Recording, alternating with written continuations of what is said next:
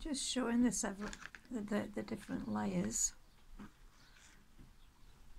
of mudstone here. You can see absolutely tiny tiny layers all built up.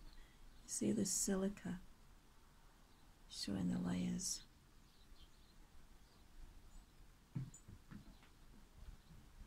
made up of millions and millions and millions of layers.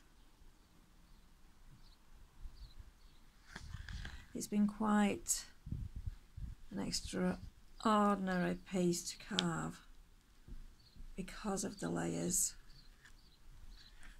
It's very um, delicate.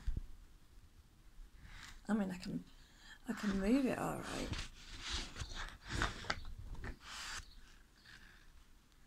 Can move it okay. Um, but when I've started working the stone, the rock rather, um, it has hmm, it has slightly, it's quite heavy. Um, just as I was working the heart, um, obviously because it's only thin, some of it's come off. So I'm going to get some yacht varnish. I've got the pieces. That piece goes there. I've, I'm going getting some yacht varnish. I've lost a piece there. So I'll be painting that in black. Just light um, acrylic black. And seal a lot of this some of that's some of that is a bit it's not loose but just to cure it sorry just to secure it I'll be putting quite a lot of um, varnish around that area. I didn't want to really use varnish on it. Didn't really want to use varnish on it um, but I think for its own protection I will do so it's Black Hearts Matter um, and it's made from mud rock and I believe scientists, um, geologists and scientists are still arguing about the history and um, the qualities of mud rock. Can you believe it?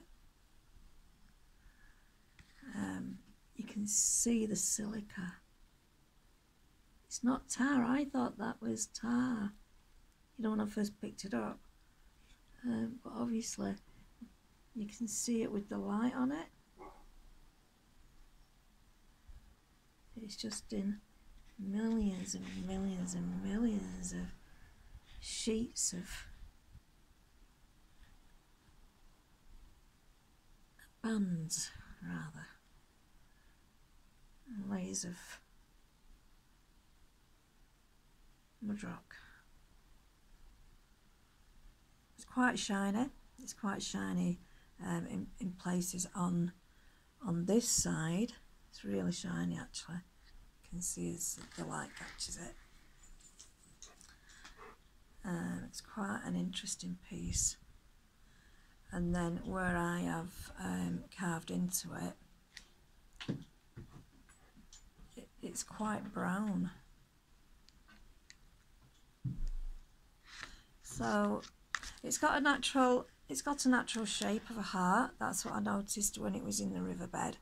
It, it has got an actual shape of an heart. Um, and those layers you can see just turn that around you can actually see those layers within that area and again on that area there okay and then across there and across here across there you can actually see all the layering so it's quite an interesting it's quite a, you know I saw it and it was quite dirty in the um, in the river but it's actually an incredible piece of uh, mud rock. So I've called it mud rock, uh, not mud rock. I've called it black heart. I've just made a note of that. Uh, it's mud rock. It's Black Hearts Matter 2020. The work is still in progress. Um, I don't think I'm going to do any more to the carving. I might do. I've not decided yet. Not decided, but I think